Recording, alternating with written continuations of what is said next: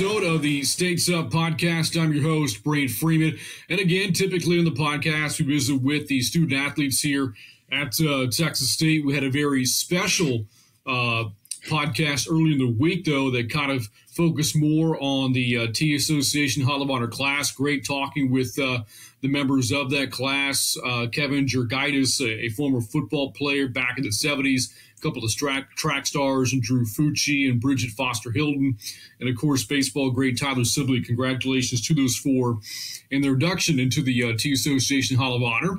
Uh, but kind of circling things back to the student athletes here.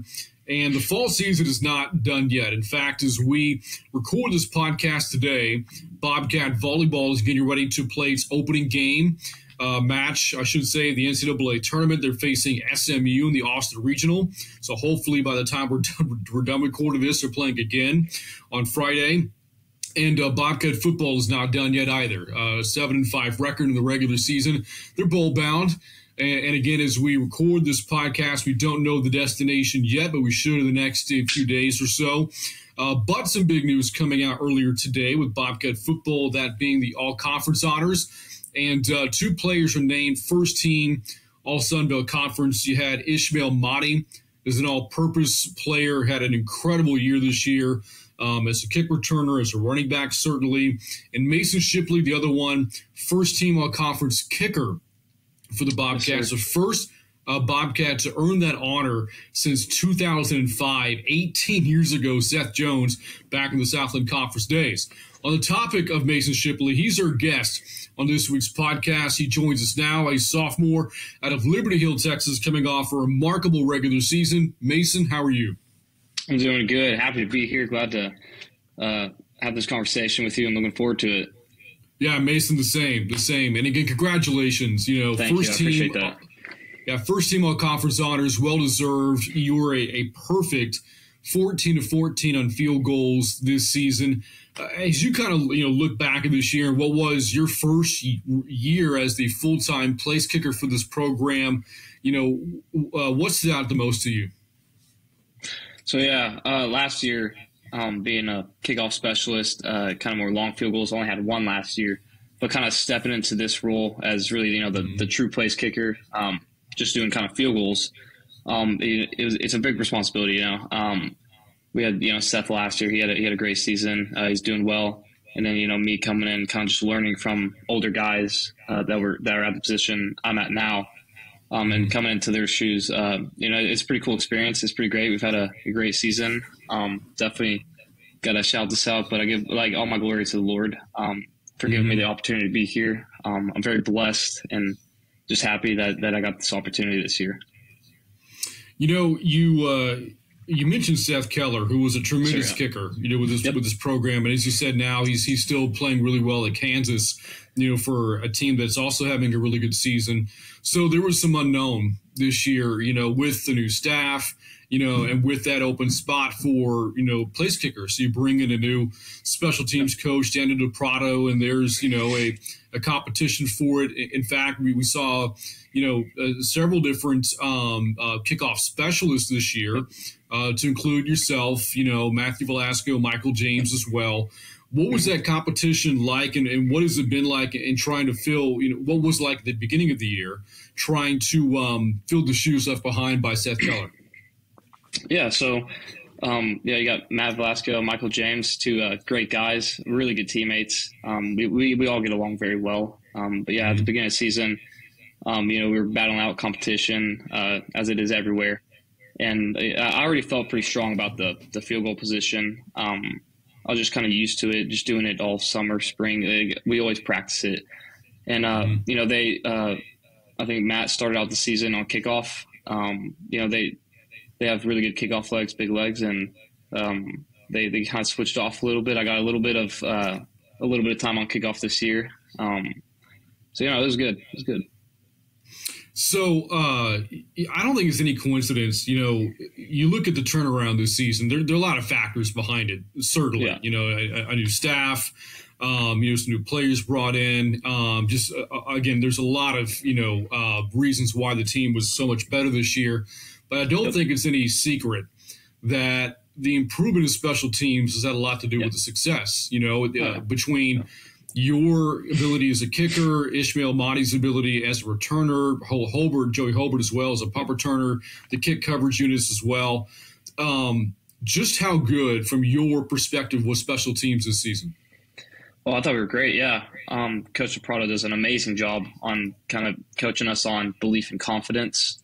I think that's a, a, huge thing. That if you have a coach that believes in you and is confident in you mm-hmm. doing your job, that I mean that changes everything and just the way he schemes things up um, and really pours out his belief that you know we're gonna every kickoff return that we we get you know we're gonna score it. You know that's uh, like his expectation. Every time like on field goal mm-hmm. every time I touch field you know um, you know we score every time. It's kind of like the mindset. So just uh, him like being around all the guys you know he's a really energetic dude really really good guy a great mentor. Um, he, he really mm-hmm. changed special teams around. And then you know he just got the players in the right spots at the right time at the right time and um, yeah, we, we had a lot of success on special teams this year. Anybody who knows me knows that um, I don't believe in announcer jinxes. And so, yeah, yeah. anytime you would light up a field goal, I was, you know, happy to say that uh, Mason Shipley has not missed this season, and you, and you haven't. Again, 14 to 14, one of three kickers in the country this year, by the way, that has not missed a kick. And the 14 field goals also ties a program record. Um, mm-hmm. When I think back though to like you know big kicks, none of the games came down to whether or not yeah. you made or missed a kick mm-hmm. necessarily. Mm-hmm. But for you, what was the what do you think was the biggest kick you made this year?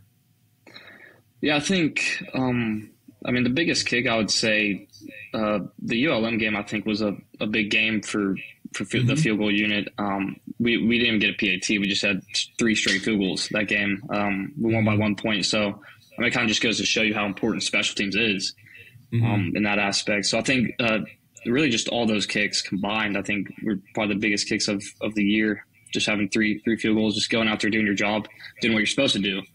And so, yeah, I think I'd say that one, that game.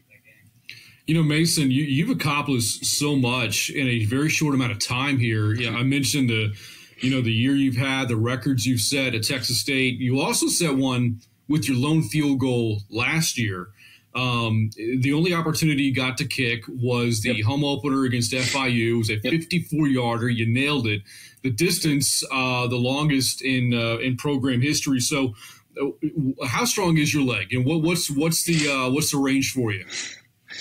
Uh, you know, I, I, like to say I have a pretty strong leg. Um, range wise, I mean, talking. I mean, you know, there's a lot of factors that go into that uh, during a game you know, you got wind and, and weather um, that always kind of affects the ball. But I mean, I would say probably you know around that 55 range, um, confidently. Um, mm-hmm. you, know, you got someone on your back. I think 50 around that 55 range is is um, you know you're pretty confident about. But anything past that is just like you know just hit a really good ball. Uh, we just try to hit the same ball every time. But yeah.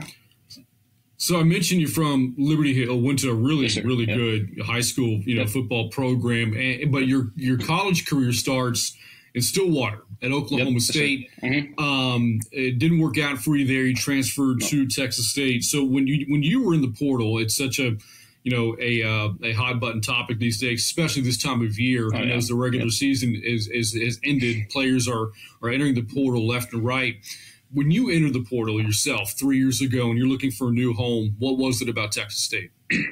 So I had a connection with uh, Coach Whitworth. He was here uh, mm-hmm. a couple years back. He was a special teams guy. Before I even went to Oklahoma State, uh, we, we were kind of texting, uh, kind of wanted me here. And so I mm-hmm. went into Stillwater, and uh, things just didn't really work out the way I thought they would. And so I just gave him a text. Uh, he still wanted me, so I came here. And just kind of that connection that I had with him in high school uh, followed into the college, my college career, and I felt like it was a really good opportunity just to come here and see uh, what the opportunity presents itself. You know, uh, again, I mentioned the transfer portal and the fact that it's a hot button topic, and I feel like there's a lot of debate about it. Yep. You know, from fans. You know, some are, yeah. are, very much you know on board with it, others are not. Um, yeah. Tell me from from a student athlete's perspective you know, what does the transfer portal, what opportunities does it give you? Um, are you are, are you a fan of it, kind of thing? You know, what is the student athlete's perspective from entering and being in the portal? Yeah, I think uh, the portal. I mean, it's good. It can be good and it can be bad. There's there's mm-hmm. uh, two ways to it. It's either good or bad for you. I think that if you just if you if you don't feel like they you're getting treated the correct way, and you know you got the stats, and you know there's a lot of things that go into it, and you transfer. Um, you know, it might be good for you, but if you don't really you know have the stats, if you don't, um, you know, the grass isn't always greener on the other side, is what a lot of people mm-hmm. say. Um, and, and I think a lot of people right now are kind of just transferring to transfer, you know, see what they can get. Um, and it, you know, it doesn't work out for, for most people. I'm gonna be honest with you. So mm-hmm. yeah, just the grass isn't greener on, on the other side all the time. I think uh, people got to realize that. But I mean, if you if you're in a situation to where you know you're just really not liking it, um, it's just not working out for you. I think it's a good opportunity to see see what you can get out of it. You know, uh, when looking looking up more more information about you, yep. and, and, I, and, I, find that um, you know you're uh, you're in a family of kickers. Your twin That's brother. Right. Yeah. Uh, you know, Matthew is a really good yeah. kicker at the University of Hawaii. Another another sure. brother of yours, Michael, is also a mm-hmm. collegiate mm-hmm. kicker. So, um, for the three of you guys, you know, growing up, you know, pursuing this um, and getting to where all three of you are now, uh, how much have you enjoyed that? No, it's awesome. I think growing up, uh, just the competition between uh, all of us, me and Matthew, uh, we're twin brothers. So there's a lot of mm-hmm. competition between me and him. Our older brother Michael, he's two years older than us. He kind of sparked the interest in kicking. Uh, he went out one day and he just started kicking and pretty good at it, better than everybody else. So he he started the spark for me and Matthew. We got really serious into it in high school, and then in high school we would just kind of switch uh, kickers. Like we we held for each other, so one person would do a kickoff and then the PAT field goal, and the next person would do the next kickoff PAT field goal. So just having my brothers around, um, kind of coaching each other, that, that's a big thing is, is we'd always kind of evaluate each other. We coach each other, tell each other what we're doing wrong, what we're doing right. And me and Matthew, we still do that to this day. I don't really have like a kicking coach. He, he's, you know, we kind of text mm-hmm. each other, um, you know, other than Coach Prado, of course. Um, we'll text each other and, and, and, see what we did wrong and what we did right. I think that's pretty cool, pretty neat thing that uh, twin kickers. So yeah, you know what's funny too? Uh, when I was referencing your your kicks this year, there wasn't none of them were like you know with one second left to win or lose yeah, a game. Yeah. But your brother uh, Matthew in the regular season finale for Hawaii, they're facing mm-hmm. Colorado State. Game is tied, and he is kicking in a pressure situation oh, yeah. to win the game, and he did it. He won the game, yep. you know, for Hawaii. How proud were you of your twin brother in that moment? No, yeah, that, that's awesome. Awesome for him. Uh, he, so that's like his second game winner of the year, actually. And mm-hmm. so, so he's, he's had a really big year, uh, kicked a few 50 plus yarders this year. So it's pretty proud of him. Um, that's awesome.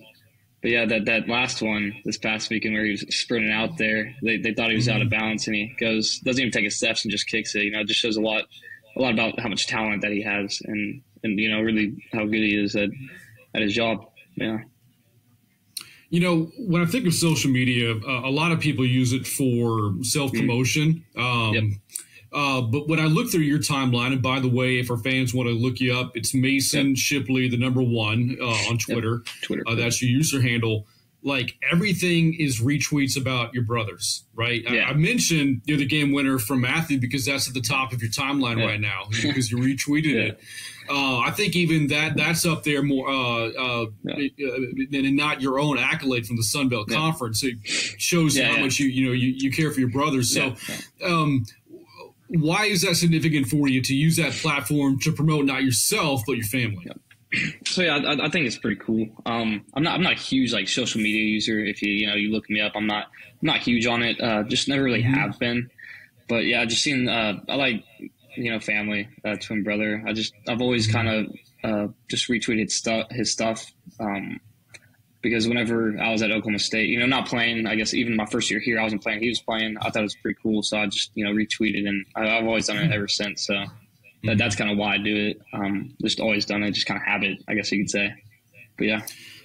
So you know, a year ago, um, again, you were the kickoff specialist, not you know, the place kicker that was Seth Keller and the and the mm-hmm. team. Of course, there's no hiding around it or getting around it. It was a tough year. You know, it led to a, a change in leadership, you know, within the program, but mm-hmm. a change that's been for the better, and things have certainly worked out, you know, really well. Yep. And now that this program is in a position to to do something that's never been done before, and that's playing a bowl game, mm-hmm. and and you yep. are a significant part of that. You know, this this program joined the FBS ranks um, 11 years ago, 2012.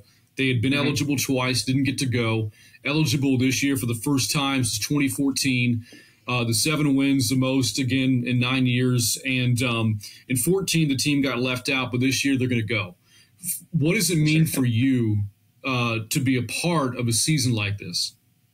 Oh, it's awesome! It's amazing. I mean, there's a lot of people in, in the country that you know don't get to go to a bowl game this year. Um, and matter of fact, a lot of people that might have never been to a bowl game in their college career. So mm-hmm. it, it's definitely something special uh, I know my brother's been to one, uh, and you know he tell me about the experience. Um, they won, they got a ring, so I think that's just so cool that you know we get to bond as a team, go somewhere, and, and showcase our talent on live television. I think it's awesome and you see the way that the fans have really, you know, bought in this year. Yes, I, there was when the team clinched bowl eligibility, the win over Georgia Southern. Of course, mm-hmm. there was that great scene of the river with the team, and yeah. and the way that the you know, I think some fans even showed up to that as well and jumped into the river, and you know the way they've been reacting on social media, the the, the attendance this year that set a record this season over 120,000, I think, total attendance this year at, uh, at, at Bobcat Stadium was set you know, a record. Um, it really feels like it's been just tremendous fan service this year for the football program. As you've gotten to know the Texas State community, the student body, you know, the, the community of San Marcos, how happy are you for the fan base that they finally get to enjoy a year like this? Oh, it's awesome! Yeah, it, it, changes changes everything. Having having more fans at our games is such an advantage to us because you know the student section they're always chirping and whatnot. But yeah, having mm-hmm. the place packed is it's huge for recruits too. They see that and they're like, oh, I want to go here. So I think that's that's really cool. I think that's part of the reason we're probably going to get bigger recruits this year is because of our fans. You know, they come to the games, they see that uh, the environment, uh, the tradition we have here, and I think it's just awesome that that we had so many people come out to our games and, and the new lights, the new uh, you know mm all the cameras, the the flashes, I guess, uh, in fourth quarter. I think that's really cool. Uh, it's a big for the players too. Uh, that they, we all love it. So I think it's awesome. Mm-hmm. Well, Mason, this has been awesome. Getting a chance to, to talk with you, you know, after as you uh, you know uh, finished out the regular season, you know, uh, perfect again, uh, uh 14 for 14 this year, and well deserved honors for you know Sunbelt Conference uh, first team uh, uh, first team all conference honors. You know, as a place kicker. So thanks again, Mason, and uh, looking forward to the bowl game and and maybe some big kicks uh, still to come this season here in 2023. Yes, sir. Thank you. I appreciate uh, your time. You got it. That again, Mason Shipley joining us on the States Up podcast, Team the Bobcats Bowl bound. We're going to find out their destination here in just uh, a few days or so. So looking forward to that. That's going to wrap up this week's edition of the States Up podcast. For Mason, I'm Brent Freeman, as always, reminding you to keep your states up, and we'll see you next time.